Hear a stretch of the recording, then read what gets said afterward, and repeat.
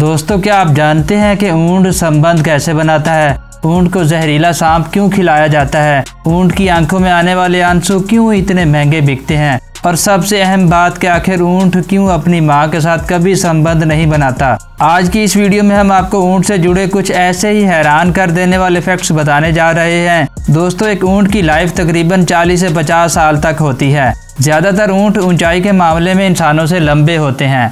दोस्तों, ऊँट की आमतौर पर दो काइंड्स होती हैं, जिनमें से एक एक कुबड़ वाले होते हैं और दूसरे दो कुबड़ वाले ऊँट।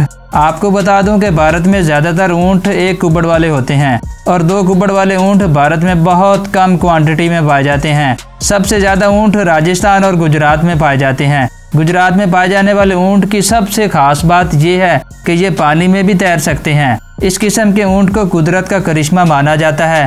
आप ये जानकर हैरान हो जाएँगे कि ऊँट के शरीर के ऊपर मौजूद बालों को भी काटा जाता है। पंजाब में ऊँट के बाल काटकर इसके ऊपर सरसों के तेल की मालिश की जाती है। साथ ही इसके शरीर के ऊपर कीचड़ लगा दिया जाता है। जब कीचड़ सूख जाता है तो ऊँट को नहलाया जाता है। माना जाता है कि कीचड़ लगाने से ऊँट के बाल नरम हो जाते हैं। ऊँट के बालों का इस्तेमाल कई सारे प्रोडक्ट्स बनाने में इस्तेमाल किया जाता है। इनके बालों से कोट, रस्सी, बोरी जैसी चीज़ें बनाई जाती हैं। ऊँट वज़न ढोने, इंसानों को ढोने यहाँ तक के खेती के भी काम आते हैं। आपको बता दें कि भारत में कुछ ऐसी जगह भी हैं, जहाँ ऊँट का इस्तेमाल खेत जूतने के लिए किया जाता है। ये तो हम सभी जानते हैं कि ऊँट को रेगिस्तान का जहाज़ कहा जाता है।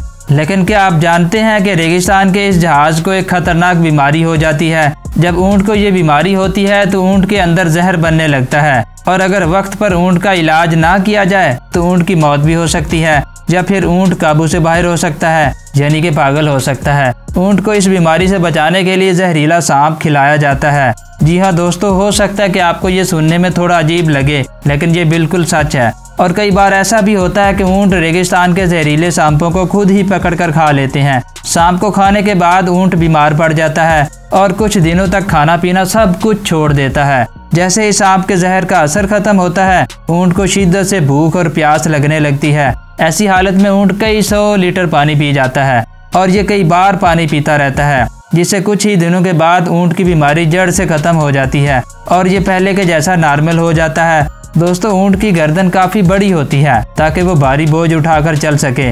ऊँट देखने में काफ़ी सीधा साधा जानवर दिखता है, लेकिन अगर ये गुस्से में आ गया तो इसके सामने खड़े इंसान को अपनी जान बचाना भी मुश्किल हो जाती है। ये अपने दुश्मन के लिए खतरा बन जाता है। जब ऊँट काफ़ी ज़्यादा गुस्सा होता है तो इसके मुँह से जाग निकलने लगती है।